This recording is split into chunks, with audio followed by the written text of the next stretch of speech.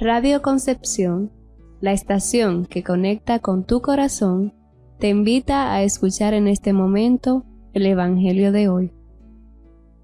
Nos disponemos a iniciar en el nombre del Padre, del Hijo y del Espíritu Santo. Del Evangelio según San Lucas. Aquel día, Jesús dijo a los fariseos y doctores de la ley, Hay de ustedes que les construyen sepulcros a los profetas que los padres de ustedes asesinaron. Con eso dan a entender que están de acuerdo con lo que sus padres hicieron, pues ellos los mataron y ustedes les construyen el sepulcro. Por eso dijo la sabiduría de Dios, yo les mandaré profetas y apóstoles, y los matarán y los perseguirán, para que así se le pida cuentas a esta generación de la sangre de todos los profetas que ha sido derramada desde la creación del mundo, desde la sangre de Abel hasta la de Zacarías, que fue asesinado entre el atrio y el altar. Sí, se lo repito, a esta generación se le pedirán cuentas. Hay de ustedes, doctores de la ley, porque han guardado la llave de la puerta del saber. Ustedes no han entrado y a los que iban a entrar les han cerrado el paso. Luego que Jesús salió de allí, los escribas y fariseos comenzaron a acosarlo terriblemente con muchas preguntas y a ponerle trampas para ver si podían acusarlo con alguna de sus propias palabras. Palabra del Señor.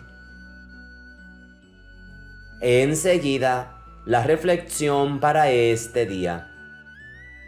Un cristiano, en cualquier parte del mundo, debe tener claro que no debe pasar desapercibido, porque si lo está haciendo, porque si no se hace notar, eso es un sinónimo claro de que no está cumpliendo con la encomienda que Jesús nos ha dejado.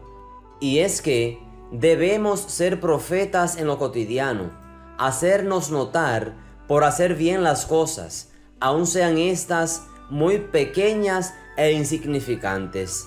El cristiano debe destacarse en cualquier rol que desempeñe, en la empresa, en la familia, en la comunidad, en la iglesia, pero si cumples con esta misión, debes tener en cuenta sobre cuál será tu futuro.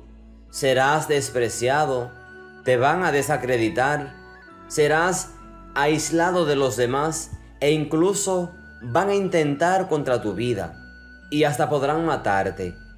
Y sin embargo, el que ha tenido una experiencia personal con Jesús no debe quedarse de brazos cruzados.